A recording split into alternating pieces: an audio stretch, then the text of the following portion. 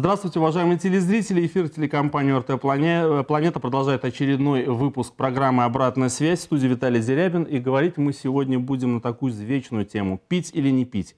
Применительно к современным реалиям, как выпить и при этом остаться в живых. И я совершенно не сгущаю краски. Дело в том, что в Оренбурге продолжаются случаи отравления суррогатным алкоголем.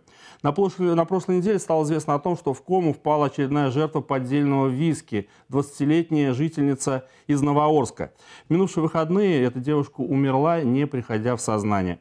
О том, что делать, чтобы не пополнить этот печальный список, а также о новых государственных мерах, э, которые призваны противостоять проникновению в продажу левой алкогольной продукции, сегодня мы будем говорить в нашей программе. Представляю гостей. Рядом со мной начальник управления по развитию потребительского рынка областного министерства экономического развития, промышленной политики и торговли Евгения Прокофьева. Евгения Павловна, спасибо, что вы сегодня в очередной раз в этой студии уже, даже не припомню какой. А также э, рядом э, со мной, рядом вместе с нами сейчас Вячеслав Щеняцкий, исполнительный директор Межрегионального союза по противодействию незаконной реализации продукции. Вячеслав Дмитриевич, спасибо и вам за то, что вы пришли сегодня на прямой эфир. Телезрителям напоминаю, что работаем мы в прямом эфире. Телефон, по которому можно дозвониться в эту студию в Оренбурге 43 45 07. И кроме того, по ходу программы мы проводим, как обычно, наше интерактивное голосование. Его вопрос с вариантами ответов на него вы сейчас видите на своих экранах.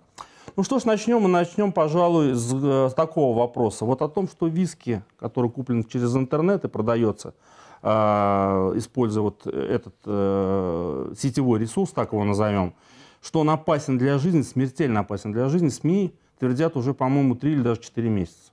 И региональные, федеральные СМИ. Но, тем не менее, люди продолжают играть с судьбой э, в Орлянку.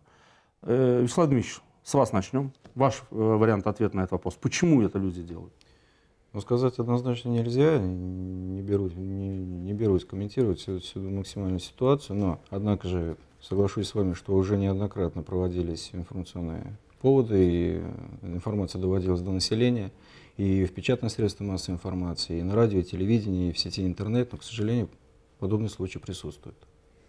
Ну вот не кажется ли вам, что люди у нас настолько стали беспечные, вот у нас э, немножко из другой оперы, но тем не менее отсюда же. Вот эта история с самого начала, после Нового года, когда люди застряли в снежном, в снежном плену, когда начали их опрашивать, они там в ботиночках на тонкой подошве, в курточках на рыбьем меху, без лопат, с э, почти пустыми баками горючего двинулись в такой опасный путь.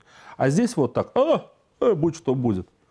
И здесь то же самое. Не кажется ли вам, что это вот именно какая-то вот жизнь, что ли, к этому подталкивает современная наша? Как сказать? Собственно говоря, наверняка один из факторов, который человек принимает для себя решение купить подделанный алкоголь, это, наверное, дешевизна в первую очередь, но, к сожалению, доступность. Раз есть возможность приобрести за столь низкую цену, по сути своей человек покупает э, бутылку, марку, не задумываясь о том, что находится внутри бутылки, какая жидкость э, алкоголь содержащая, не алкоголь содержащая, и употребив ее, приводит, к сожалению, к таким печальным последствиям. Евгений Павловна, вы у нас все-таки представитель власти, а, но тем не менее, как бы точка зрения вряд, э, наверняка есть у вас, э, вряд ли вы не без своей точки, э, без своей точки зрения на этот вопрос. То есть думали об этом? Почему происходит? Вот философски, что ли, осмысливали? Философски, ну, наверное, тогда уже не как чиновник, а все-таки, наверное, как человек, как член общества. Я, наверное, я очень много думала, почему же люди вообще слышат такую страшную информацию, что это реально продукт, который несет серьезную угрозу жизни, жизни, в первую очередь жизни, даже я уже не говорю, что здоровье. Мне, это, мне так кажется, то есть если разделить категории жителей по возрастному цензу, это все-таки молодое поколение, которое, наверное, не так э, серьезно относится к своему здоровью и живет вот на авось. Это первое. Второе, я полагаю, что это все-таки, наверное, а, наш восприятие красивой жизни, потому что люди хотят красиво выпить, но при этом совершенно не заплатить э, реальную стоимость этого продукта. То есть я понимаю, что этот продукт куплен за 200 рублей, э, легальная, совершенно безопасная бутылка водки стоит те же 200 рублей. Но вот э, наше молодое поколение, молодежь, они, в принципе, смотрят эти фильмы, эти журналы, которые пропагандируют социум гламурный, э, решают, что, наверное, жизнь не стоит э, того, чтобы ее беречь, и можно употребить, вот, создать иллюзию красивой жизни, вот этот э, суррогатный, прямо вот изначально понятно, что он суррогатный алкоголь за 200-300 рублей, виски, который в реальной жизни стоит больше двух тысяч, то есть в десятки раз. Выпил красиво, а потом не слишком а потом... красиво, простите, уж сыграл ящик, да? Мне кажется, Кого винить-то? Не думают. И, э, я в первую очередь считаю, что, наверное, родители, которые вообще э, не создали э, ну, ценности, наверное, вот так можно сказать, ценности жизни своего ребенка, то есть осторожности к подходу, к употреблению различных неизвестных, так сказать, веществ. И второе, ну, простите меня, конечно, все-таки средства массовой информации, больше телевидения – который нам рассказывает о красивой жизни, при этом э, э, без каких-то трудовых вложений, чтобы эту красивую жизнь достичь. Ну вот это мое чисто субъективное, как члена общества, не как ну, чиновник. Хорошая точка зрения, честно говоря, такая достаточно пространная и обоснованная, что, я, что самое главное. Вот давайте еще немножко вспомним э, не такие уж и далекие славные времена. Ну, начнем все-таки в советский э, период не будем окунаться, хотя у нас там тоже суррогатов хватало, там народ и денатурат пил, и политур, но все-таки с 90-х. Вот это уже история, как бы, которую переживали все вроде бы недавно и успели э, зап ее запомнить. Э, не успели забыть, вернее, вот так скажем. В 90-х годах э, чем травились в основном? Водкой в ларьках, которая была замешана, вот там я помню сюжеты эти, да и сам снимал, когда там в ванной вот так совковой какой-то лопатой перемешивали какой-то турецкий спирт какой-то там или вообще непонятно откуда, а потом по таким красивым бутылочкам все это появилось, разливались вот она в ларьке уже водка, вроде как легальная. Это вот тогда тем травились. А, еще забыл. Были еще средства такие, типа э, косметические, типа росинка, которые вроде за уходом для кожи, тоже таких они пакетиках продавались. Тоже народ пил почему-то. Ну вот. В 2000-е тот же технический спирт, который продавался под видом жидкости для размораживания замков. Но это я помню, середина 2000-х, это вот такие пятилитровые там Э, бутылки, которые на оптовых рынках совершенно свободно продавались. И продавались они по такой достаточно скромной цене, что можно ее было купить. Но для чего покупали? Понятно, что там пятью литрами можно все замки в городе Оренбурге, Оренбурге разморозить раз, разом.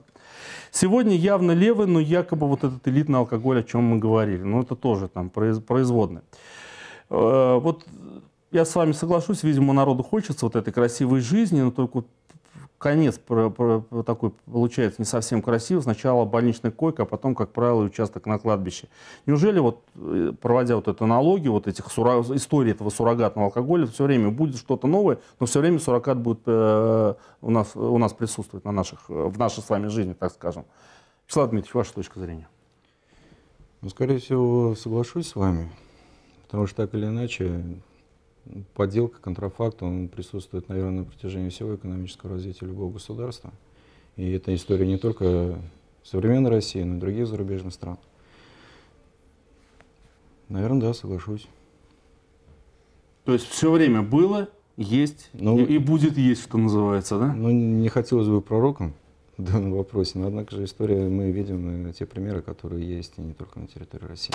Но все-таки здесь мне интересно, как все-таки подстраивается вот эта наша современная жизнь и виски за 200 рублей. Вот, ну, вот. И как это вот красиво звучит, но некрасиво, как я уже сказал, получается в итоге. Есть у нас звонок от телезрителя, давайте послушаем, что нам человек скажет, о, о чем спросит. Здравствуйте, вы в прямом эфире, задавайте, пожалуйста, свой вопрос или высказывайте мнение, мы вас внимательно слушаем. Не забывайте, пожалуйста, представляться нам. Иван Иванович из Бузулука, здравствуйте. Здравствуйте, Иван Иванович. У меня такой вопрос. У нас, значит, вот э, продают в открытом текстами, знаю где и кто, и правоохранительные органы то, точно спирт продают в пятилитровых э, бутылях, там, э, ну, цена там по 96 градусов, и, не, и никто не реагирует ничего. Это же насколько отравление, не знаю, есть или, может, он и хороший, но дело в том, что продают просто. Это же ущерб, ни налоги никуда не платятся, ничего. Это вообще Алло. Понятно. Продают в пятилитровых бутылях как? В открытую в продаже, прям в магазинах стоит? Да Или это все-таки какие-то гаражи, на, закутки? На дому. На дому. На дому. Понятно. И, Куда и... обращались вы лично, может быть, ваши там родственники, друзья, знакомые? Если обращались? Да нет, мы не обращались. Ну, это знают же многие об этом. И никто не, я имею в виду, об этом знает. едут, покупают соседи везде, кто а бесполезно, никто не обращает внимания. Это, это Спасибо как... вам большое, Иван Иванович, понятно. Тема старая. Тема старая. Дом, частный, как правило, гаражик. Недавно, кстати, в Светлом поселке такой накрыли, там тоже продавали, там, правда, и пиво, и казахская водка, но контрольную закупку, которая была осуществлена, там, по-моему, как раз-таки о пятилитровых этих баклажках. Э, опять вам, Вячеслав Дмитриевич, тема вам, наверное, тоже да, давно знакомая. Что здесь, кто должен вообще все это пресекать? И вообще, возможно ли это пресечь? Собственно говоря, скорее всего, тот пример, который был приведен, есть и на территории Оренбурга. Э, пятилитровой в емкостях распространяется жидкость для медицинских целей, для технических медицинских целей, для обработки инструмента и прочее. Если человек э, берет на себя ответственность за свою жизнь и здоровье, и он употребляет эту жидкость, наверное, все-таки вопрос э, вот здесь, в рамках таких вот моральных неких устоев, именно к самому человеку. А по поводу той работы, которая осуществляется, проводятся контрольные закупки, неоднократно данная э, продукция также она изымалась, направлялась на анализ. Понятно, что там присутствуют вредные для организма вещества. Кто должен заниматься? Наверное, государственные органы, и полиция, и Роспотребнадзор непосредственно по внутреннему содержанию продукта, именно по доступности для каким-то образом употребления населения. Вот я продаю, приходят да. ко мне, хватают за руку. Что мне грозит? Административный штраф. Ну, видимо, такой, что там несколько таких продал и окупил сумму штрафа, да еще и в наваре остался. Ну, да, к Не будем да. говорить о сумме, чтобы да, там да. народ не расстраивать, правда? Евгения Павловна, я добавлю. Да, Прямо... к вам вопрос такой немножко добавочный. Кто должен это пресекать? Как вот вообще можно это мониторить, как есть такое модное слово сейчас? Ну, вообще любой нелегальный оборот у нас контролируется органами УМВД. И мы, в общем-то, очень в тесной связке с ними работаем. У нас есть телефон горячей линии. А, Скажите, Зрители могут записать его 770037. 770037, повторяем телефон. Да, даже если вопросы находятся не в компетенции министерства, мы, безусловно, их отрабатываем с, с органами УМВД. И если ну, зрители вот как-то всегда скептически от, к этому вопросу относятся, говорят, а, ну, ну, в общем, вам позвонили и забыли. Нет, вот э, надо сказать, что э, буквально за полгода 40, 48 было звонков по нелегальному обороту алкогольной продукции, э, порядка 60% отработано уже, нам органы УМВД отчитались и рассказали, что да, действительно, там возбуждены а, административные дела. И вот если что касается административных дел, понятно, что штрафы невелики, но при этом идет изъятие продукции, а вот это уже ощутимо. То есть мы всегда стараемся бить на это. То есть не только вот административный штраф, ну, который... Ну, забрать, это, чтобы не продали хотя бы Чтобы это. не продали, а, а, в, карману, а в гаражах запасы всегда хорошие. То есть у нас есть такая практика, мы, ходили, мы ходим с органами полиции и, в общем-то, всю продукцию изымаем, и, изымают органы полиции и вывозят. И вот еще... сейчас как раз по поводу полиции. У нас э, на связь с нами выходит Марина Николаевна Глазатова, начальник отдела исполнения административного законодательства э, муниципального управления МВД России по Оренбургскому, ну, так называется, длинное такое название. Ну, то, то есть человек, который у нас здесь главный, отвечает в Оренбурге и в Оренбургском районе. Марина Николаевна, как вы нас слышите сейчас? Да, алло, здравствуйте, я слышу. Марина Николаевна, просьба небольшая к вам. Телевизор с нашей программы убавьте звук, пожалуйста, а то мы слышим эхо здесь в эфире. Сейчас мы вас с вами удовольствием поговорим. А, вопрос такой, Марина Николаевна, вот мы сейчас зашли, э, речь дошла у нас в студии о том, какие меры, собственно говоря, могут предпринимать правоохранительные органы. Ну, возьмем немножко конкретизируем этот вопрос, конкретизируем этот вопрос, зададим его вот так. Вот после того, как эти массовые случаи отравления поддельным виски о нем, о нем будем в первую очередь говорить, пошли по всем, а, так скажем, населенным пунктам другим Оренбургским, э, Оренбургской области. В Оренбурге что сделано? Какие меры были предприняты? Ну, после данных трагических событий у нас, несмотря на то, что мероприятия, в общем-то, по борьбе с незаконной продажей алкогольной продукции проводятся на постоянной основе, находятся на особом контроле, после этих событий у нас вообще в разы было увеличено количество личного состава, задействованного для выявления данных фактов продажи именно крепких спиртных напитков. И за тот период было пресечено 207 фактов, в том числе 33 про продажи через интернет изъято почти три с половиной тысячи бутылок э, различных наименований. Это виски, коньяк, портвейн, ром и так далее. Все то, что вот потенциально представляет наибольшую опасность для населения. А вот эти пятилитровые бутылки, о которых мы сейчас говорили, со спиртом техническим, их тоже изымали? Э, спиртосодержащую продукцию, которую продают с частных э, квартир, частных домов, мы, конечно, мероприятия по ним тоже проводим, естественно, мы их э, тоже изымаем, но это не в данный период, который я говорю, это на протяжении всего времени мы этим занимаемся. Понятно. Вот сейчас рискну предположить, вернее, так скажем, сделаю такое предположение, что после того, как вот все узнали о том, что тот виски, который продается, он поддельный, вот через интернет, и что если цена низкая, там 500 рублей за бутылку, что это можно отравиться, э, не исключено, что те дельцы, которые этим занимаются, маскируясь под э, легальную продукцию, они возьмут и повысят вот эту отпускную стоимость. Ну, с учетом того, что у нас сейчас экономическая ситуация, такая инфляция и так далее и тому подобное. Вот э, может это случиться. Ну, то есть я не утверждаю, но может это случиться. Связи с этим вопрос. Как вот обычному смертному отличить э, хороший алкоголь прежде всего, дорогое, элитное, от того, что может э, свести его в могилу. Реально вообще ли это, это отличить вот так вот, на глазок, что называется? Ну, я категорически не советую пытаться угадать по форме бутылки или цвету крышки, поддельный это алкоголь или нет, потому что у каждого бренда очень много отличительных признаков, и запомнить их просто невозможно.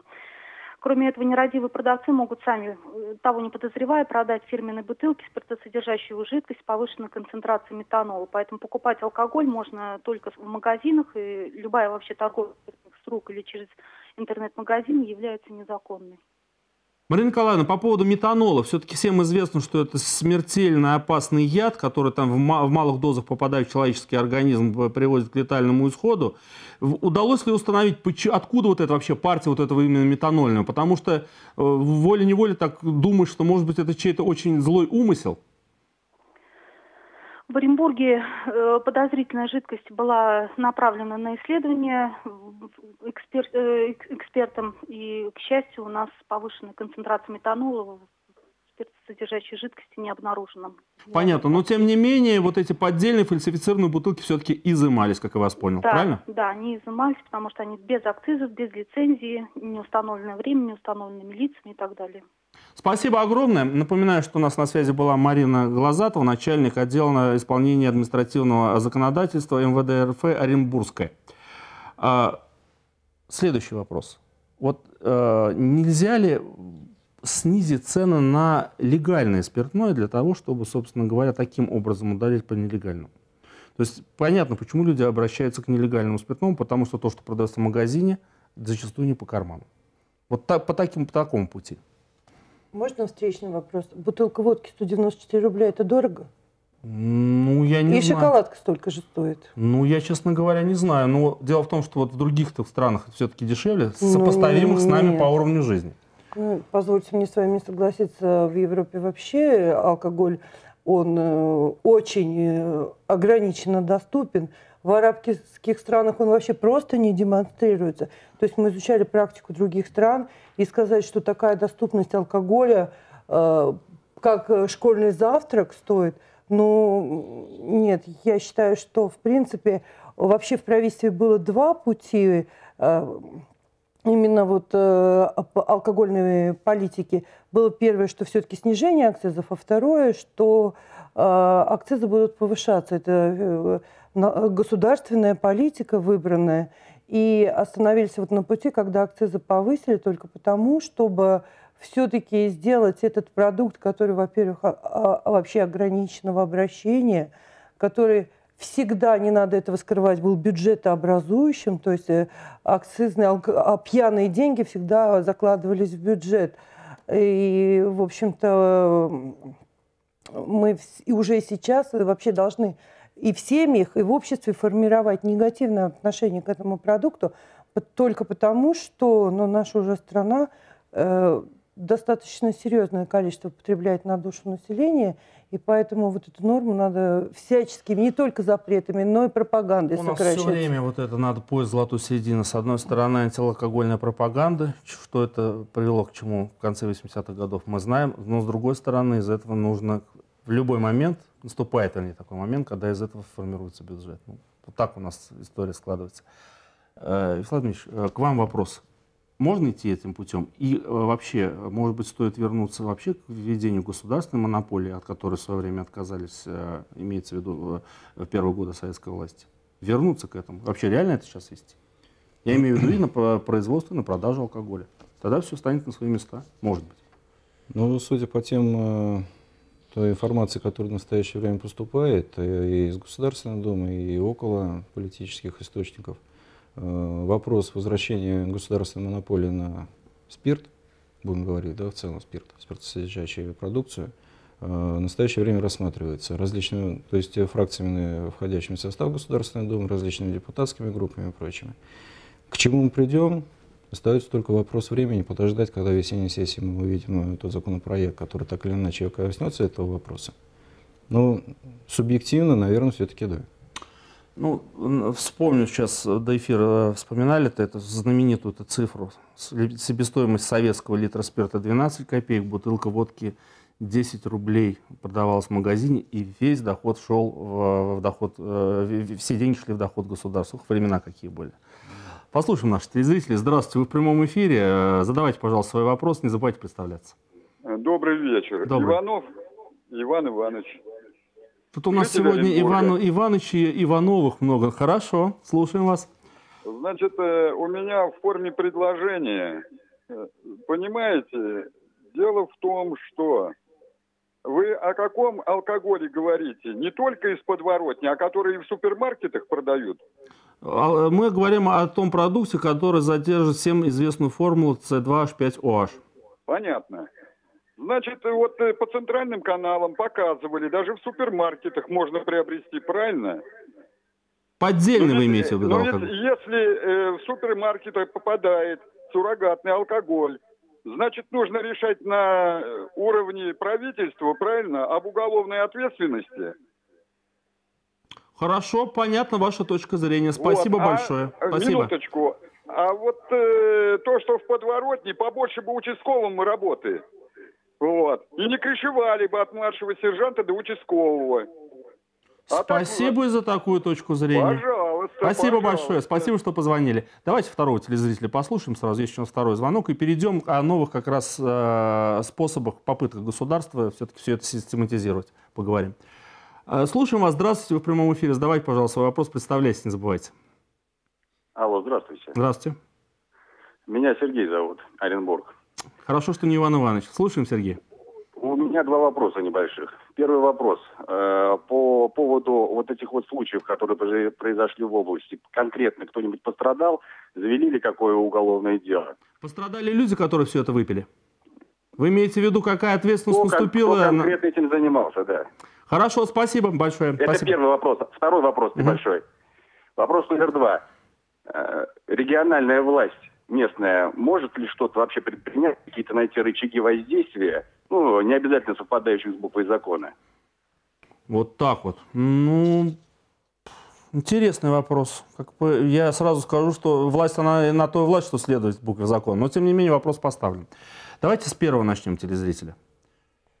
Владимир что можете сказать?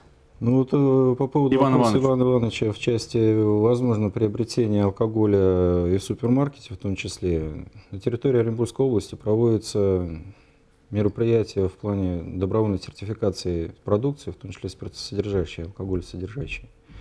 Э, Здесь э, проводится сертификация на договорной основе, то есть э, поставщик либо продавец имеет право провести сертификацию продукции, и марку, которая наклеивается непосредственно на единицу бутылки, она дает э, возможность каждому покупателю потенциальному увидеть, доброкачественный это алкоголь, либо нет. В основной своей массе... Те... Это, по-моему, такая марка с медведем, да, там, да, медведь. изображена? Она так и называется, медведь. То есть, если смотришь на эту бутылку, видишь этого медведя, значит, что человек добровольный. Никто его не принуждал, ну, куди сюда. да, контроль, добровольная да? сертификация, непосредственно, которая занимается... Но она все-таки, наверное, копеечку стоит эта сертификация, да? То ну, есть, она же не за бесплатно эти марки Согласен. Если мы сейчас говорим уже о необходимости проведения добровольной сертификации, мы можем говорить о конкурентоспособности товара и продвижении его на рынке. Если продавец, э, к примеру, да, любой из э, оптовых сетей э, захотел показать качество продукции, естественно, он проводит добровольную сертификацию, получает марку, наклеивает на каждую единицу продукции, и, естественно, тогда уже перед покупателями уже более-менее спокойно. Второй э, телезритель, часть его вопроса тоже вам адресую. Вам известно, что кто-то понес ответственность вот за те случаи, когда люди травились и погибали? Ну, насколько я помню, после прошедших печальных событий были заведены уголовные дела, но саму судьбу этих уголовных дел я не могу сказать, не отслеживал. Но, собственно говоря, опять-таки, эта информация есть средств массовой информации. Да, Понятно. Евгения Павловна, телезритель предложил не совсем следовать букве закона, как он сказал, если я там дословно его понял. Если как, честно... правоохран... как, как, вернее, государственные органы, правоохранительные структуры могут не следовать букве закона, то есть уподобляться тем, кто торгует таким алкоголем, что получается? Я не поняла, в каком отношении... Имеется в виду, что может По быть иногда... нелегально? Да, да, да, что закручивать Или... гайки больше политику кнута. Я так понял, телезрители применять. Ну, мне кажется, сейчас у всех органов есть свои полномочия, и нам просто надо честно их реализовывать. И, собственно, я полагаю, что таким методом нелегальный оборот будет сокращаться.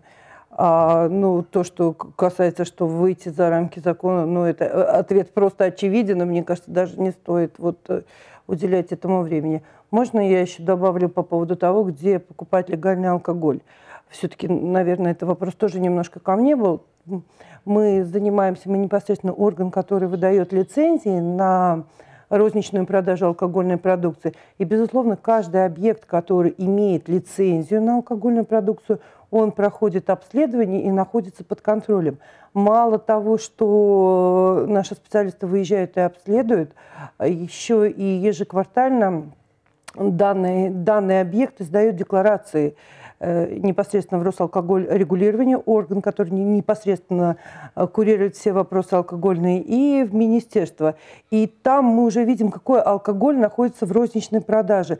То есть это определенный щит, и я считаю, что это серьезный щит, когда люди решают приобрести алкоголь. То есть я вот призываю всех, кто меня сейчас слышит, покупайте алкоголь только в легальной продаже. Заходите в магазин, смотрите, есть лицензия или нет. Смотрите лицензия, срок действия. Если она действующая, то можете смело приобретать. И вот сказать, что в сетевой торговле выявлены случаи продажи нелегально э, контрафактной продукции ну, на территории Оренбургской области, вот в сетевой торговле но мы с таким не сталкивались. Ну, давайте еще о, о, о тех счетах, которые государство э, выставляет на пути нелегального алкоголя. И вот один из этих э, счетов называется ЕГАИС. Это единая государственная информационная система, которая систематизирует, понятно, будет алкоголь, и информировать о нем тоже информирует о нем же, об алкоголе. Сейчас предлагаю посмотреть небольшой сюжет, который мы подготовили, который так вкратце объяснит все-таки так буквально на пальцах, что такое эгоиц. Давайте посмотрим.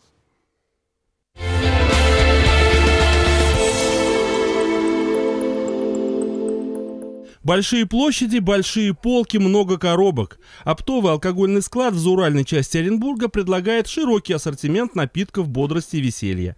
Каких именно, не покажем, закон не позволяет. А другой закон повелел. С нового года все, кто торгует алкоголем оптом, должны быть подключены к государственной системе учета и контроля. Цель этой системы, скорее всего, первоначально, это исключить нелегальный алкоголь из оборота. Сканеры, считывающие акцизную марку, ноутбуки с ними соединенные, плюс программное обеспечение. Выход на ЭГАИС обошелся в несколько сотен тысяч рублей. Дополнительные затраты в стоимость отпускаемой продукции пока не включены, но у сотрудников склада появились дополнительные обязанности. Проверить и занести в ЕГАИС все то, что закуплено у производителей до вступления в силу новых правил. Работа не пыльная, но муторная. Впрочем, ее монотонность нередко прерывается несовпадениями данных, заявленных производителем, с тем, чем располагает ЕГАИС.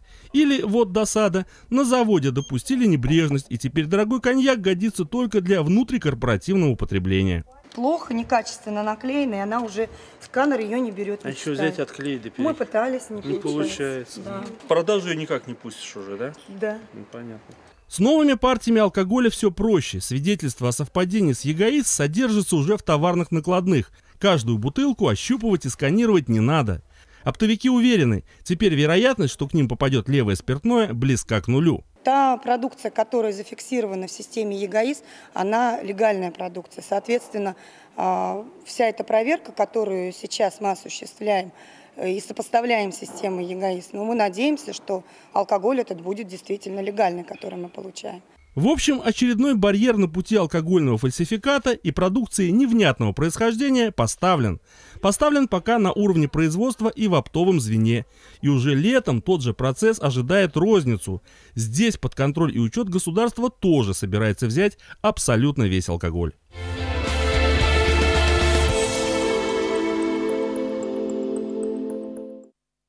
Но о том, является ли э, ЕГАИС таким, такой панацеей от э, фальсификата в легальной торговле, поговорим чуть-чуть попозже, а пока послушаем еще одного дозвонившегося телезрителя.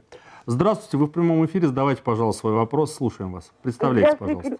Здравствуйте, меня зовут Светлана, я с Оренбурга, с Южного поселка. Скажите, пожалуйста, а вот продают вот эти фурики, начиная с частных маленьких магазинов – потом в аптеках, потом, э, ну, везде, везде у нас, везде валяются эти фурики. Вы имеете Возник... в виду, наверное, знаменитую настойку боярышника, да? Да, боярышник, вот эти настойки ведь стоят в магазинах, 12 видов стоят. Люди с 8 часов бегут, и это вообще невозможно. И все улицы завалены этими пустыми вот маленькими бутылочками.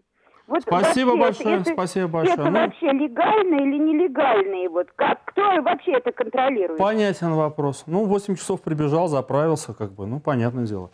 Определенные люди, естественно. Что это вообще, откуда вот они? В аптеках были, вот в магазинах, я видел в магазинах. Правда, естественно, они на прилавках не стоят, но так нет, почему они стоят совершенно открыто? Это на сегодняшний день является легальной продукцией. Единственное, что мы с Роспотребнадзором работали по поводу товаросопроводительных документов, зачастую у этой продукции нет товаросопроводительных, тогда изымалось.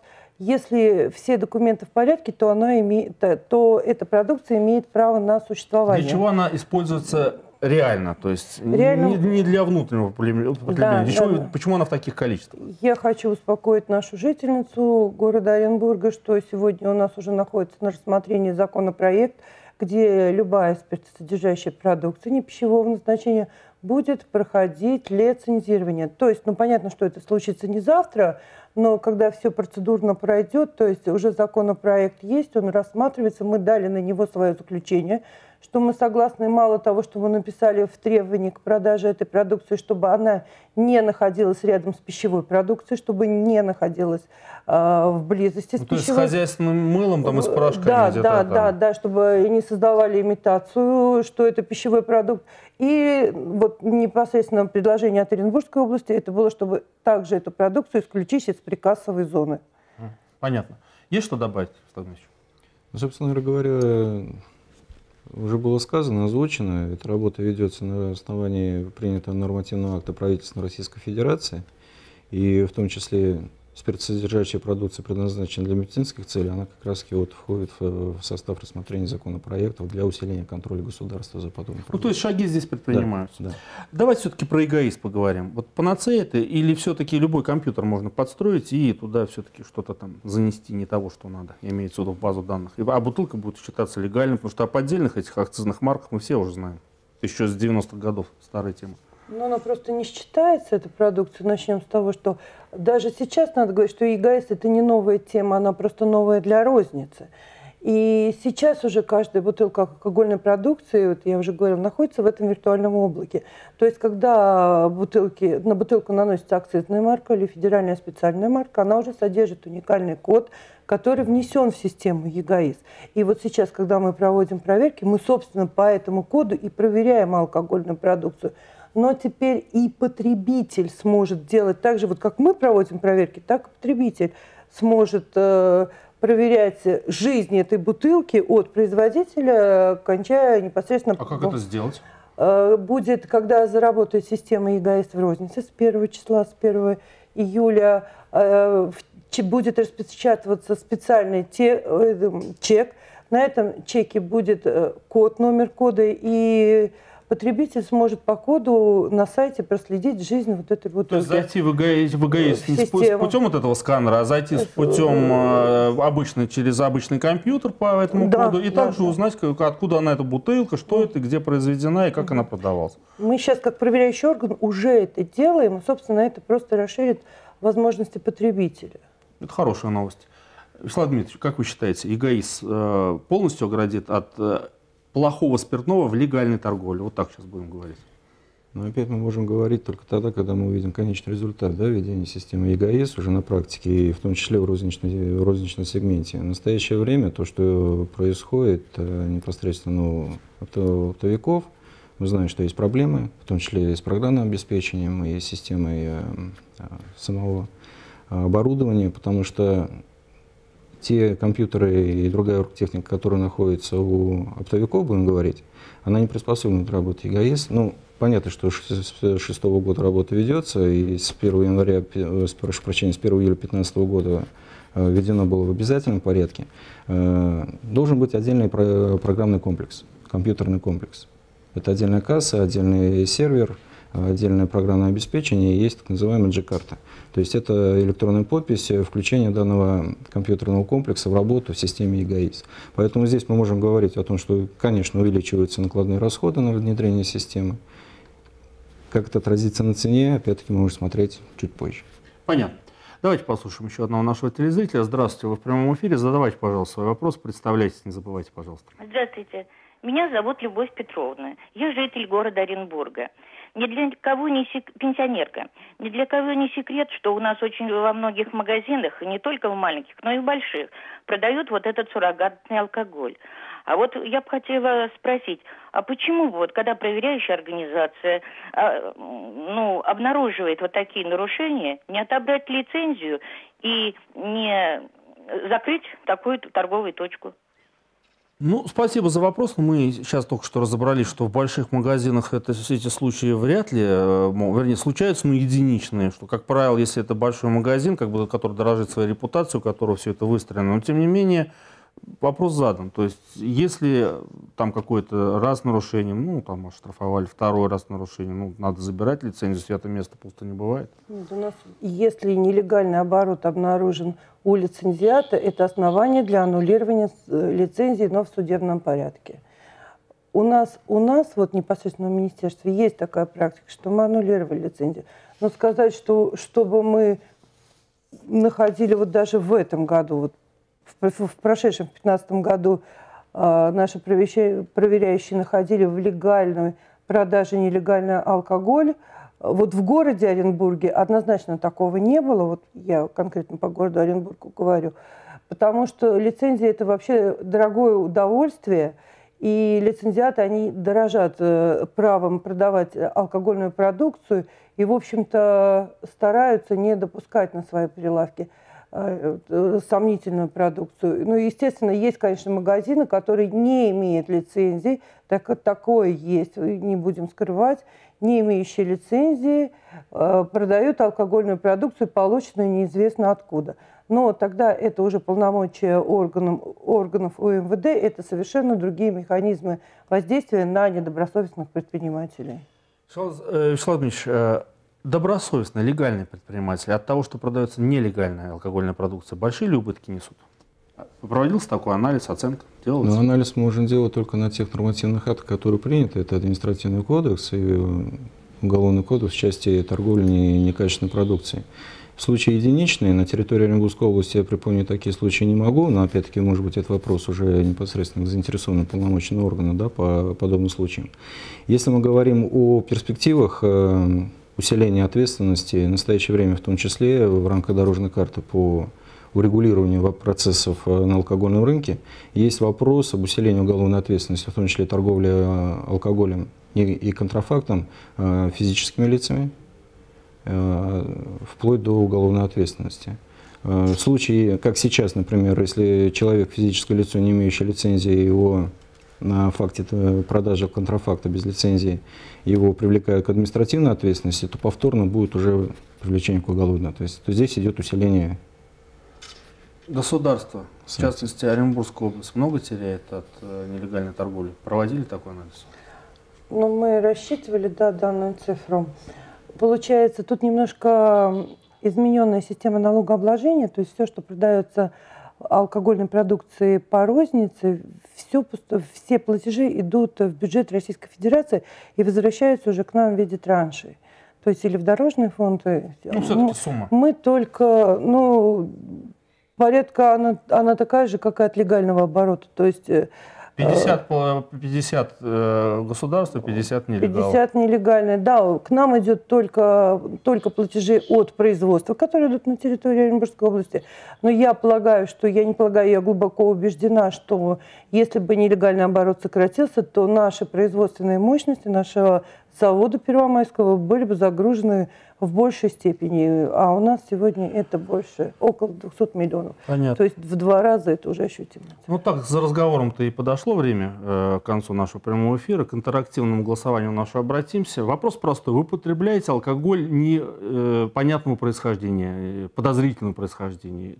Да, ответило большинство телезрителей, которые позвонили к нам сюда на вопрос интерактив. Вот такие у нас, собственно, результаты. Даже не хочу их обсуждать, да. тем более, что у нас около минуты всего остается в эфире. И я благодарю наших гостей, которые сегодня пришли сюда. Разговор у нас получился достаточно, по-моему, конструктивным, достаточно нормальным. И надеюсь, что все-таки многие вопросы, которые задавали телезрители, в том числе и ваш покойный слуга, мы здесь прояснили. Итак, э, очередной выпуск программы «Обратная связь» подошел к концу. Спасибо также всем телезрителям, которые звонили сюда, в эту студию. Напоминаю, что следующий прямой эфир у нас будет буквально послезавтра, в четверг. И в этой студии мы ожидаем председателя законодательного собрания Оренбургской области Сергея Грачева. Я же с вами на этом прощаюсь. Еще раз спасибо всем за внимание и всего вам самого доброго. Оставайтесь на нашем канале.